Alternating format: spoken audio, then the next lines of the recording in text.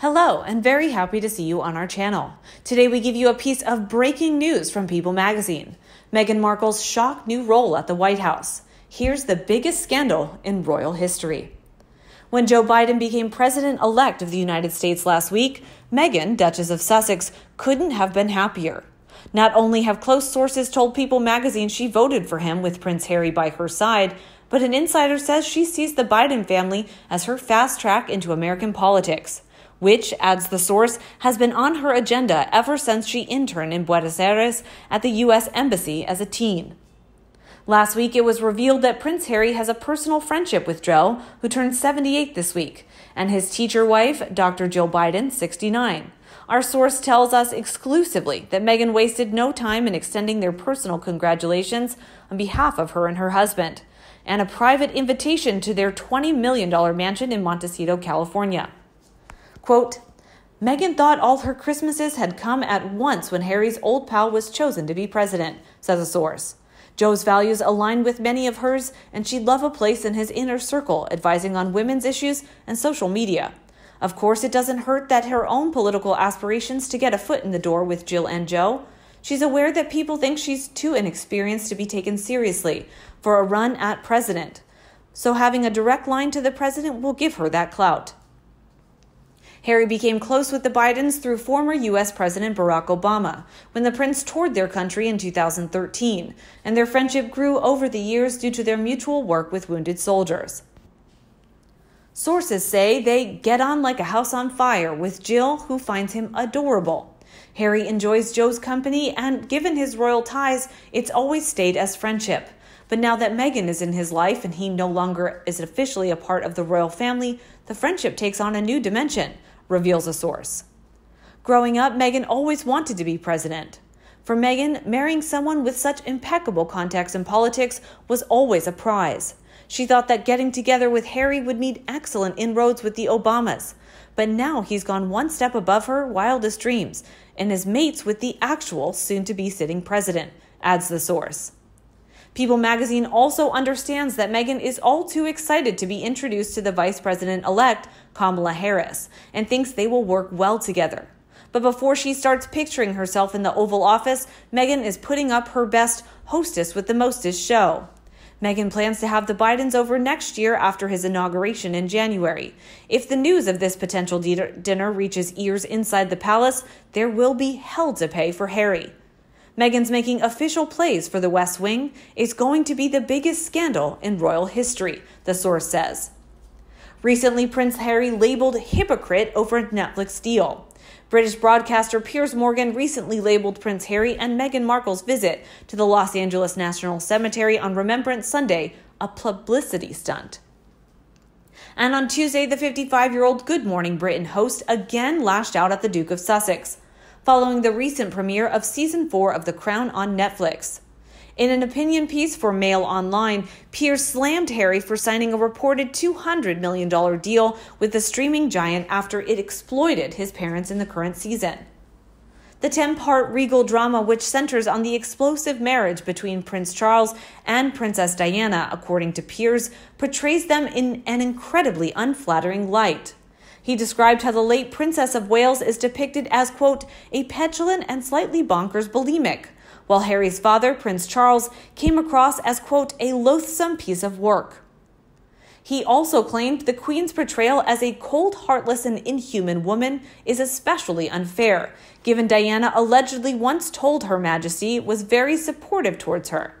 But the Good Morning Britain host went on to say that he found it truly staggering. Harry allegedly doesn't share in his brother William's reported anger over their parents being exploited. Far from being outraged by Netflix making a fortune by rubbishing the royals like this, his response has been to join his wife in striking their own massive multi million dollar deal with them, Piers wrote. By doing so, Harry is literally accepting money made from humiliating his own family, especially his own mother, whose experience with the press he constantly holds up to demand greater deference for his wife Meghan. The British broadcaster later suggested Harry must have been aware of how Netflix rubbished his family long before he signed his deal, given three seasons of the drama have been released. The hypocrisy of his money grabbing gold rush to Netflix towers is truly jaw dropping when you consider how passionately he's always defended his family's privacy and railed against tabloid intrusion, against both his mother and his now wife, whom he openly likens to facing the same trials as Diana, he wrote. Now, had Meghan Markle gained fans or lost them since Megxit and after the actions she and her current husband, Prince Harry, have since undertaken? Before the wedding, my reaction was, Meghan, who? Then there were all the pre wedding pictures. Everybody was smiling. It looked good. I thought, well, that's nice. A little bit of diversity in the royal family. It can't hurt. But she treated her father so poorly, and she was rude to a sweet old lady. She started talking about our election. That is fine for a private citizen, Meghan Markle, but coming from the Duchess, it was starting to become an irritant. Then there were the pictures in the cemetery. The furious outpouring of hate made me reconsider. They had themselves photographed putting on a little show in a cemetery that is available for rent for that purpose. She wore stiletto heels. The dead do not care. They walked on graves. I do not know about that cemetery, but in some cemeteries, the graves that are packed so close together that you have to walk on graves to reach the grave you wish to visit. The dead do not care. They tried to make a little money off the project. Remember, the cemetery is available for rent for the purpose of making money. This is not a problem.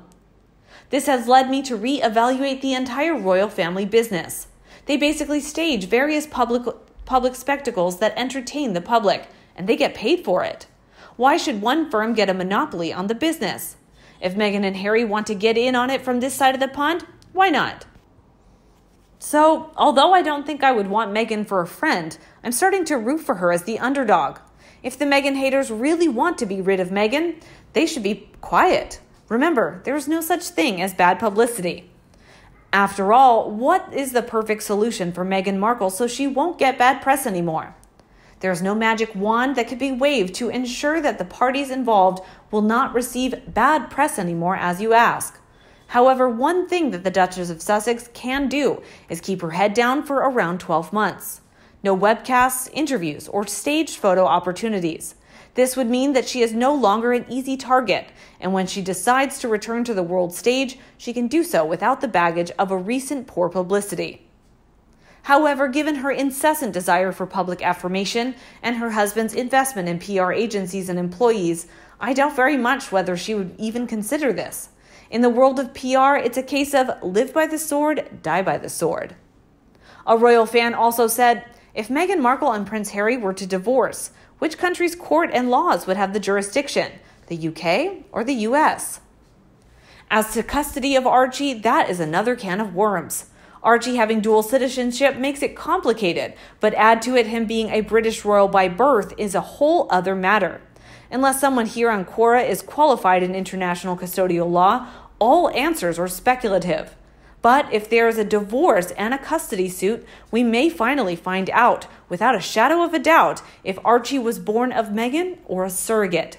Depending on who is the mother, it could play a huge role in determining custody. It has been stated many a time a baby born through surrogacy is considered illegitimate within the rules of succession and not entitled to the throne. How about you? What do you think of Meghan Markle's shock new role at the White House? Please let us know in the comment section below and discuss them together. And as always, come back to our channel for all the latest news on the royal family, Meghan, and Harry right here. Thanks for watching and see you in the next video. And don't forget to subscribe to our channel. Goodbye.